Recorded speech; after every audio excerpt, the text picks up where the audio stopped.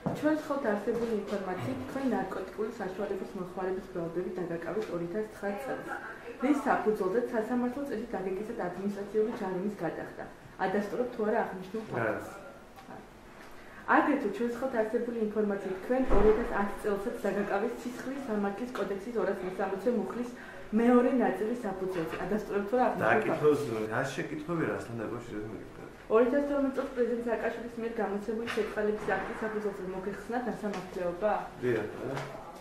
ადასტურებთ ამ ფაქტს? რა ხდება მასთან დაკავშირებით? რასთან დაკავშირებით? ზოგადად გვაინტერესებს საჯარო მოხელების ძანდები. მე რა საჯარო მოხელების ძანდები? და მაინტერესებს გნა სამართლეობის ძანდები თუ არა? სამართლეობის ძანდები თუ არა, სამართლეობა მოხსნილი აქვს როგორც ასეთი და შეიძლება გადავარდოს სამართლეობა.